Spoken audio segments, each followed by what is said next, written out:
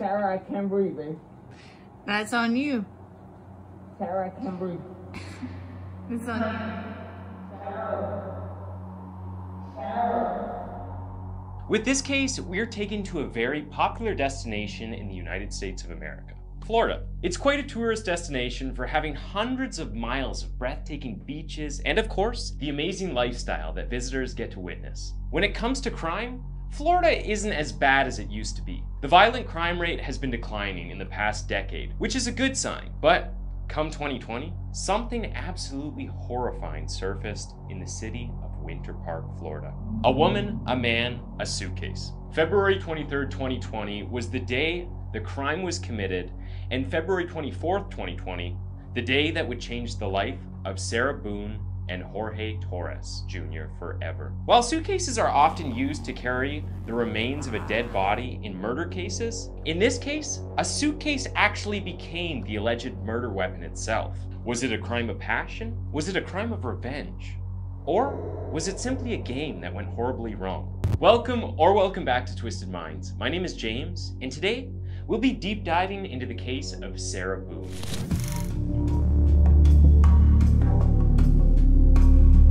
Not much is known to the public about Sarah and Jorge's early lives, but here's what we do know about them. Jorge grew up in Philadelphia and was a divorced father of three with an unstable work history. He also had a history of encounters with the law. He and Sarah were in a kind of on and off again relationship since about 2016. Sarah had been jobless for about two years before the suitcase incident. She and her child from the previous marriage, Lucas, live off the alimony from her ex husband. She has a brother on active duty in the Marines who is based elsewhere. She also mentioned another sibling who is in jail. The couple's relationship isn't exactly flowers and rainbows all the time. Nobody's relationship is, but then theirs was more of a bruises and beatings kind.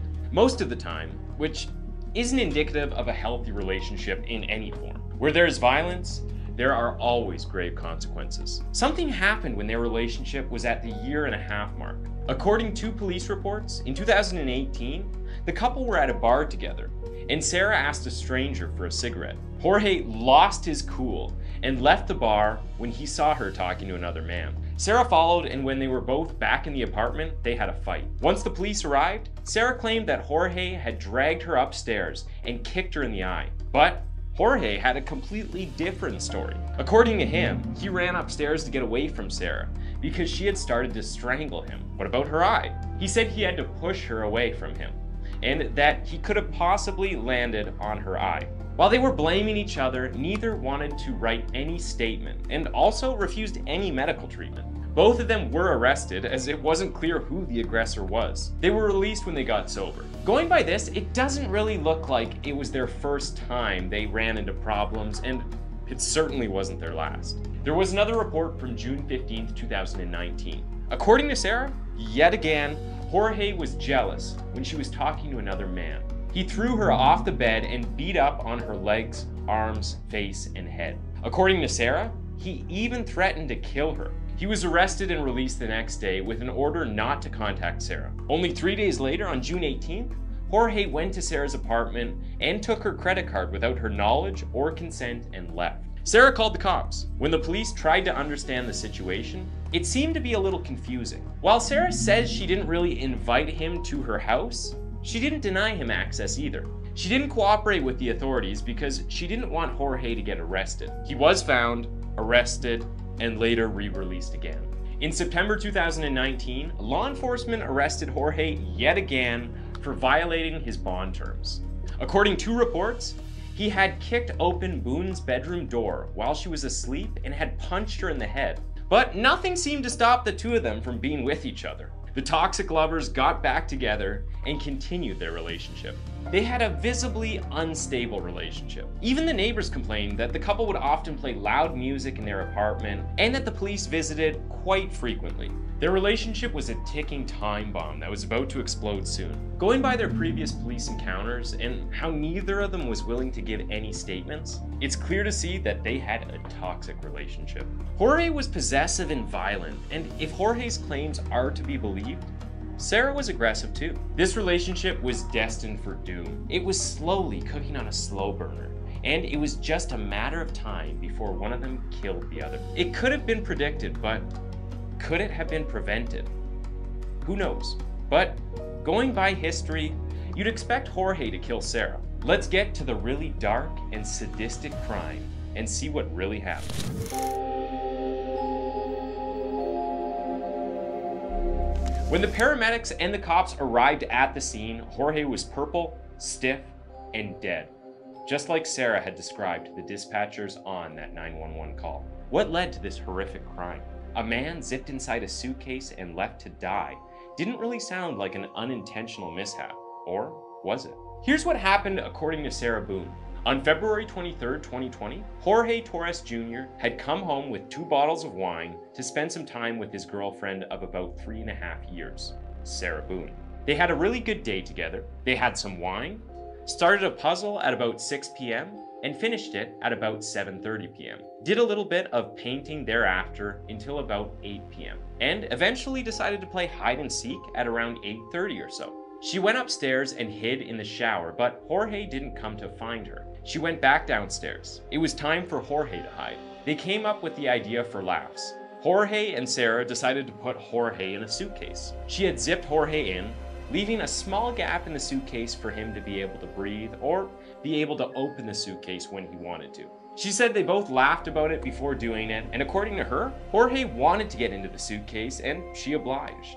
They both wanted to do it for the laughs, although we don't really see what's hilarious about the whole thing. So, going by Sarah's account, what happened next is even more unimaginable. Apparently, she zipped the suitcase, leaving a gap big enough for two fingers to fit. This, according to her, was enough for Jorge to be able to breathe and eventually get out whenever he wanted. After this, she went upstairs to her room at about 11:30 p.m., where she was awake for about 30 minutes before she dozed off, only to wake up the next morning at 11:30 a.m. What about Jorge? Since there was enough room left for him to be able to open the case, he must have hopped out and gone right about his business, right? That's what Sarah apparently had thought. She didn't come home for a whole hour after waking up. She thought Jorge was probably working on his laptop. When she didn't hear anything from Jorge, she came down the flight of stairs at 12:30 p.m. in the afternoon, only to see the suitcase right where she had last left it.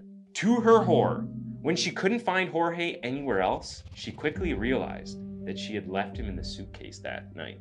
She had hoped that he would be able to exit. She quickly unzipped the suitcase to find out that Jorge was purple, stiff, and obviously dead. Horrified, she called her ex husband Brian Boone, who lives a mere block away from her, and then she called 911. Well, this is odd because if you're terrified and you see your boyfriend dead in a suitcase, you'll probably call 911 first. Was she trying to find a way to fix this or find a solution on how to get rid of this mess? Now, let's remind you that this was Sarah's account of what happened. These were the events that she described to the cops when they arrived and in the interrogation room later. Is this true? Is Sarah telling the truth? What will the police find?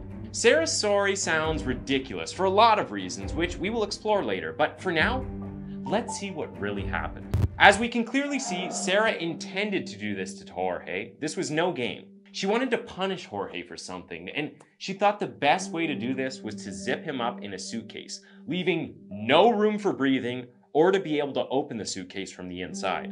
Jorge is struggling to get out of the suitcase. He's calling her name again and again, telling her he can't breathe.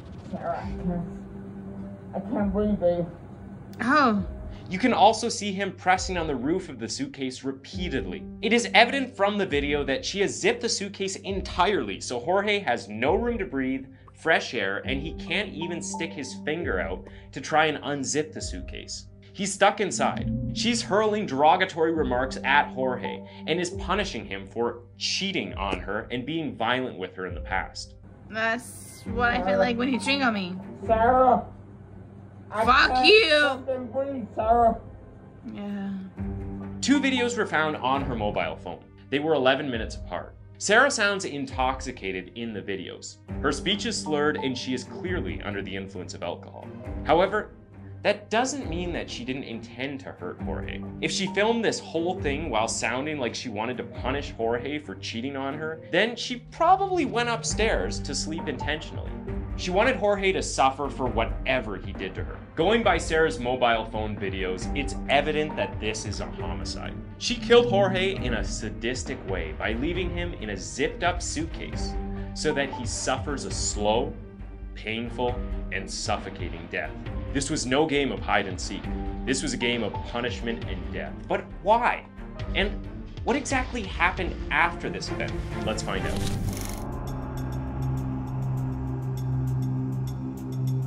The suspicion that this wasn't an accident but a murder started before the dispatchers even arrived at the scene. The clues start as early as the 911 call. On the call, Sarah doesn't sound as distressed as someone should be if they found their partner dead up in a suitcase. Her tone throughout the call is defensive rather than being more helpless or concerned or shocked.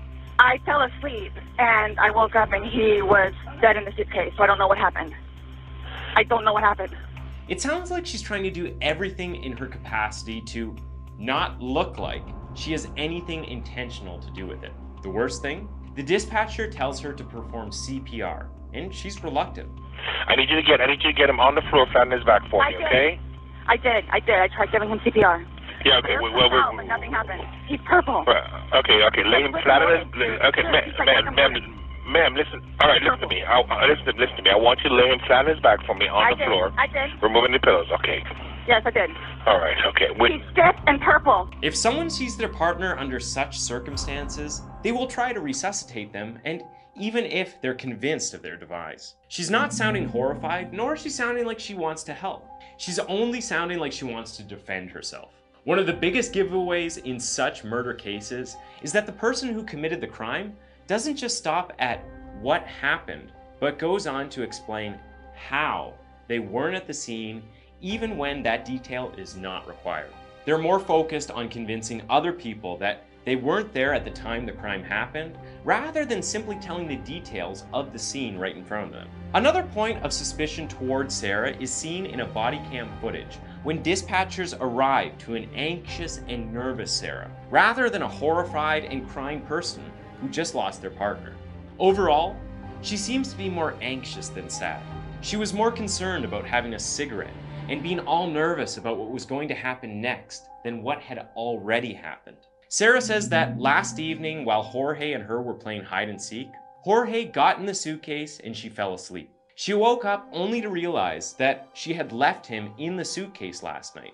Notice her behavior here. I fell asleep When did you do CPR? this morning when I found him. Before you called? Yes!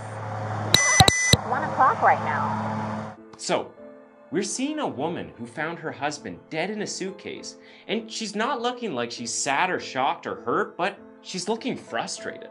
Not an emotion that matches a person who just lost their partner to a slow and painful death. Here you can see the police officer talking to Brian Boone, Sarah's ex husband. He says that Jorge was out on parole during this time. He had been arrested for domestic violence against Sarah. Brian also implies that he's seen the push and pull in this relationship, where Sarah would get Jorge arrested but would bail him out the very next day, too. Every time she had him arrested, the next day she was trying to get bailed out too. So I, I don't know what it is. It's like Sarah couldn't make up her mind about Jorge. She wanted him to be punished, but as soon as the law got involved, she felt the urge to bail him out. It's a very much hallmark sign of a toxic relationship, the ones where abuse is involved. The two people keep breaking up, but getting back together again because they're some kind of codependent. Sarah is repeating the incident to the police officer, and she says multiple times that she forgot that Jorge was in the suitcase. I fell asleep. Forgetting that he was So in you the guys suitcase. were playing the hide and go seek. Yes. And at some point you put him in the suitcase? No, he got in the suitcase. Now, imagine being in Sarah's place for a moment. You laugh with your partner and find it funny to get him in a suitcase. You zip him up completely. The next thing you do is walk upstairs and fall asleep. How is any of this making sense? How can you forget something of this sort? But Sarah has the answer to it. She blames it on the alcohol. She's already starting to create a base for her subsequent interrogations. Note here that Sarah implies that she and Jorge aren't really alcoholics or anything. It's just a little bit of wine once in a while.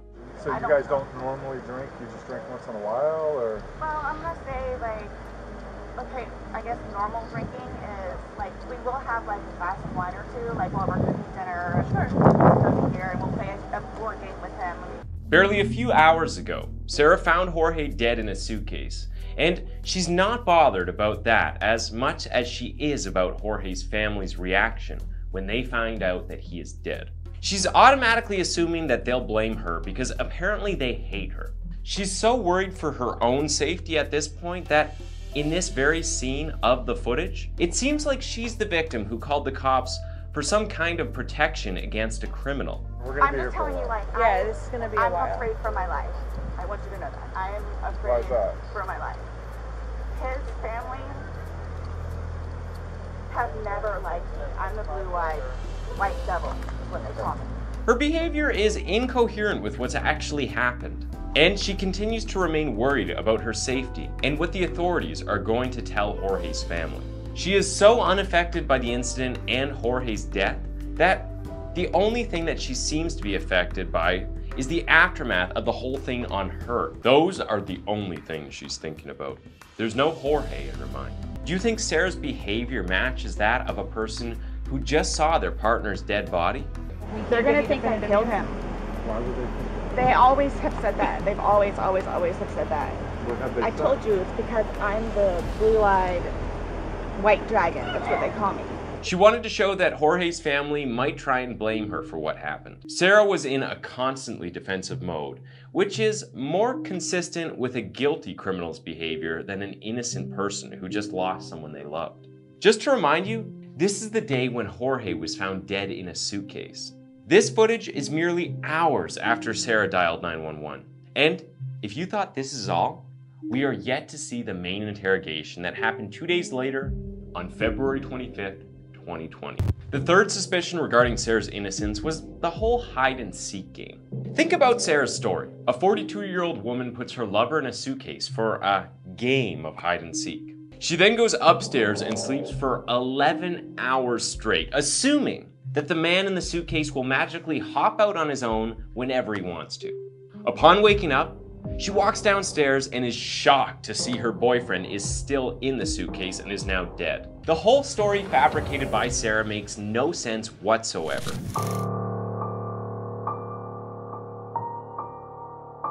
Only two days after Jorge's death, Sarah was called in for questioning on Tuesday. Let's see how that went. Right after victim blaming and also playing the victim card at the same time, Sarah is swift to show that she cares so much about Jorge, how she's helped him through everything so that he can become a better person. I've really helped him. I've bailed him out of jail, what, three times. I've gone to every single hearing and every single arraignment, everything that I did for him. Gone to see all his public defenders, go to the state, I've gone to the state. I, I did everything for him because I'm trying to help him, because I had, I had hope in him. So, according to her statements, if he was even a slightly better person, it was all because of her. Not to forget, her tears don't seem legitimate, as it's so clear in the footage how she's oscillating between being so matter of fact to crying, and then barely seconds after that, she's back to being so unfazed. She's switching between the two expressions almost instantly, and she's back to victim blaming. And she's very descriptive in his utterly destructive behavior toward her, and not so much about her behavior toward him. So he always had something on his mind, which is why, again, I got the puzzles and the paint to try to get him off of it so we don't have a drink, or he doesn't have a drink. Nobody knew George better than I did. I say that I knew George better than himself. Here you can see how Sarah likes to be in control and feels like she knows Jorge better than he knows himself. Then she immediately starts off with how much she helped him again. She even says, Ask anyone. And I tried in every way, shape, and form. Ask everyone. I helped him. I took care of him. When the interrogator shows Sarah the footage from the video she shot on her phone, she takes a long time to respond. Fuck you. She's probably shocked to see that footage as she has no recollection of filming it. She probably has no idea what's coming up. To appear calm, she quickly points out the low battery in the laptop. For everything you've done to me. Your battery's about to die. Shutting up. She wants time to think, and she's found it. She quickly adds that she wasn't planning on going up and sleeping. She's trying to show that whatever there is in the video that you're about to see, she didn't intend to do it. And I wasn't planning on going upstairs and going to sleep. From now on, throughout the interrogation, she will play the unintentional card. So, why is she scared? It's probably because she knows what's about to happen. She doesn't want to watch it. She says, Is it long? to show that she doesn't know about the video, but she instantly gives away that she does know about it by saying, I don't know how much I can take. Is it long? Because I don't know how much I can take. Mm-mm. I don't know how much I can take. In this whole part, Sarah doesn't really have a comeback because the evidence is right in front of her, filmed by her. George has done that in the past before too, where it's just like he thinks that he's woe is me kind of thing, where it's like I don't. he's never been locked in a suitcase. That's No. where he couldn't get out. So It's kind of. I thought it was And the you know boy the oxygen crawling is wolf, crying wolf kind of thing. okay. And again, my but plan. that, but nowhere in there is he laughing. Is he joking? He is begging, and you're the only one laughing, okay. and you're the only one saying derogatory comments, like you're mad. No. Please don't. I don't mean to sound negative, and I don't know if I can say this, but like it's like you guys are kind of trying to like feed me. Like No, I'm just trying to show you a video that you oh. no longer want to watch because you probably don't want to know the outcome of how and what you said. She's not ready to take any accountability whatsoever, despite the glaring proof right before her eyes. She's one of those people who will continue with their denial mode and project it onto others, if only others were buying it. So here we have a deceased Jorge in this case. We have footage from her own cell phone, which is incriminating evidence enough that she's responsible for his death. She's still trying to prove that she didn't try to do any of it intentionally. Here, it's easy to see how Sarah is so cornered. Initially, she said she doesn't like to be drunk. I don't get. I can't get drunk. I, number one, I do not want to get drunk. And here, when the interrogating officer points out that it is indeed obvious that only someone who is intoxicated won't remember filming those videos, she gets defensive. You know, you know what's on that video now? No. You remember making that video? No. Why don't you remember making the video? Probably because we had been drinking. But you weren't drunk. Just because I went upstairs and. Just You because told you're us- drunk doesn't you mean told us that several you. times that you were not drunk. In my experience, if somebody cannot remember doing something to the extent of making two videos and a video and taking a photo, they are intoxicated. Okay. I understand where you all are coming from. She is trying to imply that they're putting words in her mouth. Well, they're simply catching a liar in a lie, if you ask me. You can see how she is talking calmly and suddenly loses her composure when she says it's awful. Like it's all backfired on me, and I understand the severity of this. I just. Yeah, he's dead. It's awful. I know. Okay.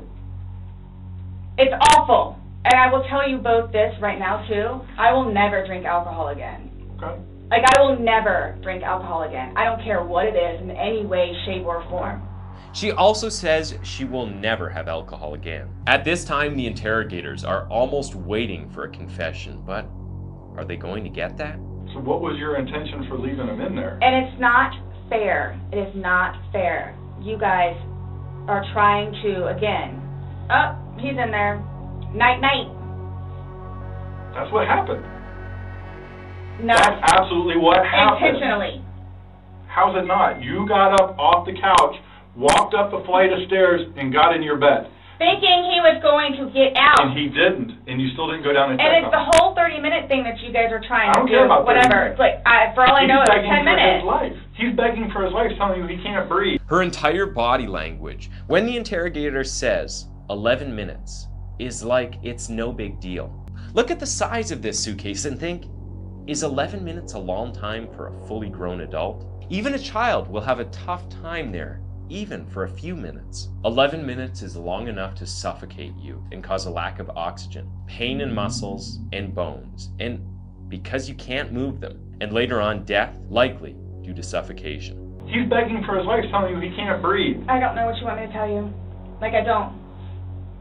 I didn't intentionally mean for this to happen. Now she knows she can't cover her tracks by denying what she did because there's proof. So she's trying to convince them that she didn't intend to do it. She's trying to steer clear of the first degree murder here. She knows that she will inevitably go to prison because of the damning evidence against her, in her own voice, from her own phone. But if she shows that it wasn't intentional, or it was an accident, something that wasn't premeditated, she will be safe against first degree murder charges, which are usually the highest and, in most cases, come without the possibility of parole, depending on the magnitude of the crime. So you guys think that I intentionally You did. it- You it got doesn't up matter off what the we- couch. it doesn't and matter walked what up we the couch, think. Or walked up the stairs and got into bed.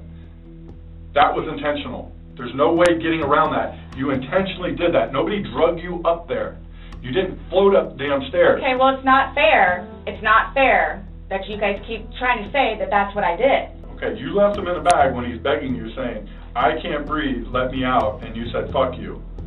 And you got up off the couch and went upstairs and left him in that bag. Not intentionally. Again, I would never do that to George. you did. Not It happened. intentionally. She gets aggressive yet again. Sarah couldn't really be calm for long. Notice her nodding her head almost violently as she says, Know that to the interrogator. Know that. I don't. Know that. You got up and you went up to bed. Alcohol is a shitty thing. It's alcohol. She's forcing them to believe her, and when it doesn't work, we're back to alcohol blaming. She stands up in the middle of the conversation. She's that hyper at this point because nothing seems to be working, and the interrogators are not convinced, not even in the slightest. She then again tries to tell them how everyone knows how much she cares for Jorge and all that she did for him. Everyone knows. Everyone knows. Everything that I've done for George and love him and continuously helped him throughout his life. I can't explain to you. I can't explain to you how horrific it was Okay. to find him. Horrific. Because I don't remember taking those videos. Okay. How horrific. Sarah's emotions are not following her words. Like we've been saying, she's all matter of fact. It's so strange to see someone whose partner died merely a day or two before have literally zero emotions. We don't see any pain, sadness, or even horror. I mean, you'd be horrified to find your partner dead in a suitcase, right? I through with alcohol. And it's unfortunate that stupid things like this happen. Mm-hmm. This is the moment of truth for Sarah. She's handcuffed and she's about to go to prison. What's odd? She's still emotionless. There's no expression of shock, fear, or sadness. Nothing. Absolutely nothing. Except that she's still repeating that it wasn't intentional. Why is this happening? Because George is dead. Not intentionally. We understand He's still dead. No emotions, but her mind seems to be working overtime. She's been asking the two interrogators what she should do next the whole time. The only person she seems to have been concerned about the whole time is her own self.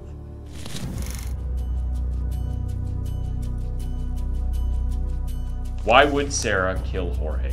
What did she want from him? Going by the history of their relationship, it seems like she was fed up with his possessive and aggressive behavior. She was punishing him and taking revenge. But nobody has a right to torture and kill anyone. The legal system exists for a reason. She could have reached out to the authorities and filed for a restraining order, but she didn't. Every time Jorge or their relationship ran into the law, she'd bail him out and she'd get back with him. Maybe because she was guilty of turning him in every time. Their relationship was toxic, so maybe it was a kind of habit or pattern which made Sarah used to the abuse. Or was it because she had nobody to control once he went to jail?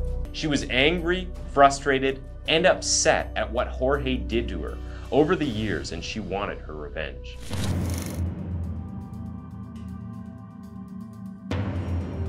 According to Jorge's autopsy report, he died due to positional asphyxiation, and the manner of death was homicide. Jorge was in the suitcase for 11 long hours. What is positional asphyxia? Here's the definition from Wikipedia. Positional asphyxia, also known as postural asphyxia, is a form of asphyxia which occurs when someone's position prevents the person from breathing adequately. People may die from positional asphyxia accidentally when the mouth and nose are blocked, or where the chest may be unable to fully expand. A fully grown adult male aged 42 was in that suitcase. No matter how big that suitcase is, it will always be small for an adult human being.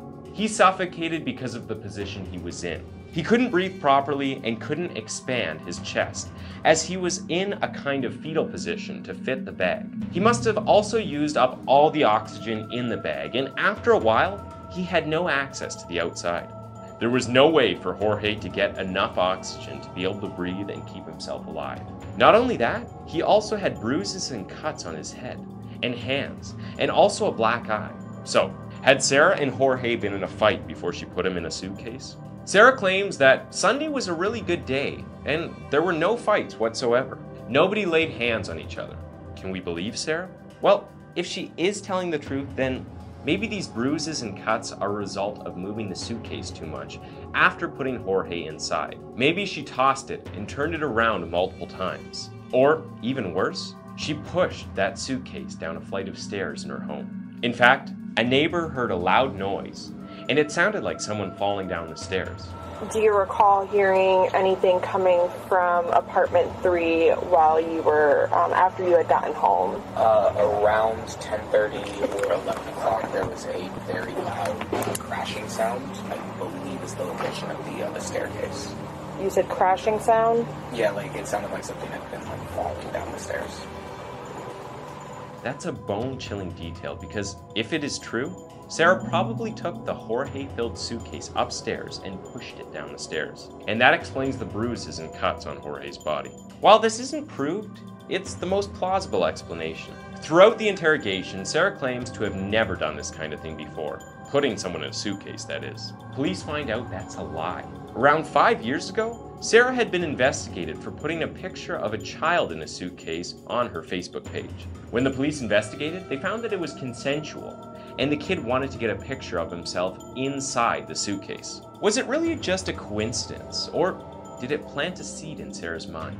A seed for the plan that she went ahead and executed on February 23, 2020, by zipping up Jorge in a suitcase and leaving him to suffocate and die.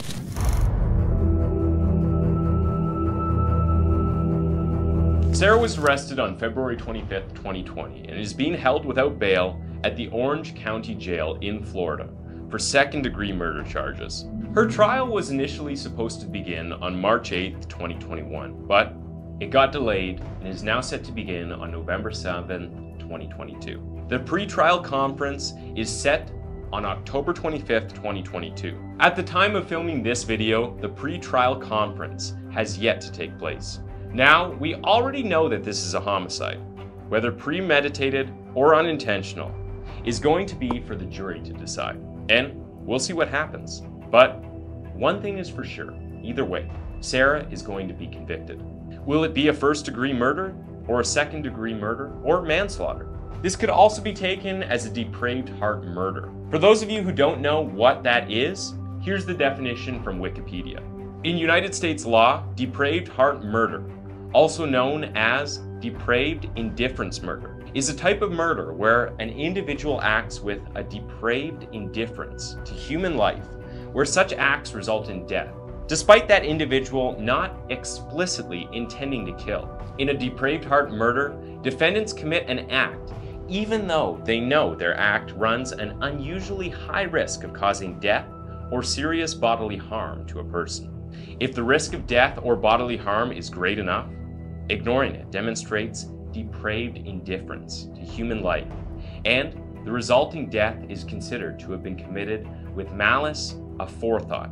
In some states, depraved heart killings constitute second degree murder, while in others, the act would be charged with wanton murder, varying degrees of manslaughter, or third degree murder. If no death results, such an act would generally constitute reckless endangerment, sometimes known as culpable negligence, and possibly other crimes, such as assault. This definition pretty much fits the Sarah and Jorge case, but what does the jury think? For that, we will have to wait for the trial and see how it goes. Knowing Sarah Boone's hyper personality by now, we know that she wouldn't really sit very quietly. Well, here's a letter she wrote to the Honorable Judge Wayne C. Wooten. Now, this letter is somewhat of a complaint about the lawyer, Mauricio Padilla, who was supposed to represent and defend her, but got off the case. The letter is nothing but a whole ocean of words and sentences that scream Sarah. She is being her apparently confused self, who knows nothing about the process ahead, and is pleading and requesting help so that she can bring forward her truth. Well, it looks like here too, she's making it look like she's the victim in the case. She says she is desperate to move forward and she is emphasizing her best interest and security above all else. Let that sink in for a moment. Does she realize she's the suspect and has been charged with second degree murder? Or is she still confused if she's the victim and needs all that security and safety? Against what? As of now, she has no choice but to await her trial, which has been delayed. It's been two and a half years since she packed Jorge in a suitcase and left him to die a painful and lonely death.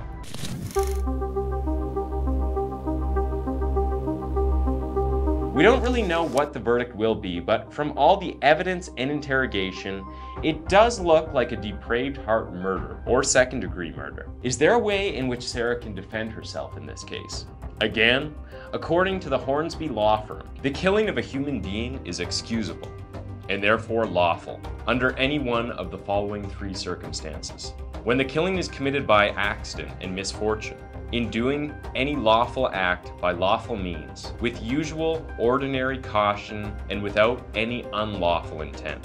Or when the killing occurs by accident and misfortune in the heat of passion, upon any sudden and sufficient provocation. When the killing is committed by accident and misfortune resulting from a sudden combat, if a dangerous weapon is not used and the killing is not done in a cruel or unusual manner. Going by this, Sarah can defend herself by calling it an accident and a misfortune, but she will have real trouble in making it look like not cruel or unusual because Jorge died in a suitcase, which is very cruel and unusual. This wasn't any kind of self-defense from Sarah too, so that's ruled out. And it's common knowledge to any adult that staying in a completely enclosed suitcase may eventually lead to death by either suffocation or asphyxiation. She is no child to have not understood the consequences of her actions, which means that she was fully aware that death could be a result of what she was doing. She has slim to no chance to walk away completely innocent from this case. Moreover, as we know, Jorge's death was not normal. It was a torturous ordeal that he had to go through before he succumbed to his fate. It was a lonely and painfully slow death, which took away any dignity from him in his final moments that a human being should have the right to. This was beyond cruel. If she wasn't happy with him and had complaints against him, she could have reached out to law enforcement, but she took it upon herself to commit this heinous crime of revenge. This is a tragedy that would eventually consume both Sarah and Jorge in different ways. It was a time bomb that would inevitably explode to finally tear the two apart. Thanks for tuning in to Twisted Minds. That was the case of Sarah Boone. And why don't you go ahead and click on one of the two videos on your screen for another one of our videos.